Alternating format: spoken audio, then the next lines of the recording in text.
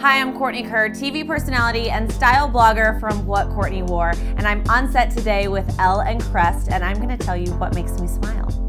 My fashion philosophy is basically not to have one at all. You know, I say break all the rules as much as possible and just wear what makes you smile.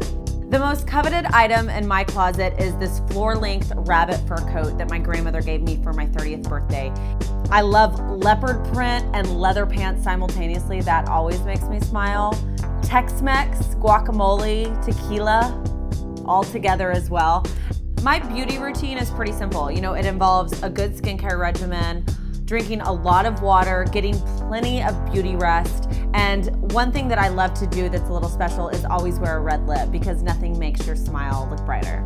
To see more from my shoot with Elle and Crest, go to thecourtneykerr.com. Fancy smile!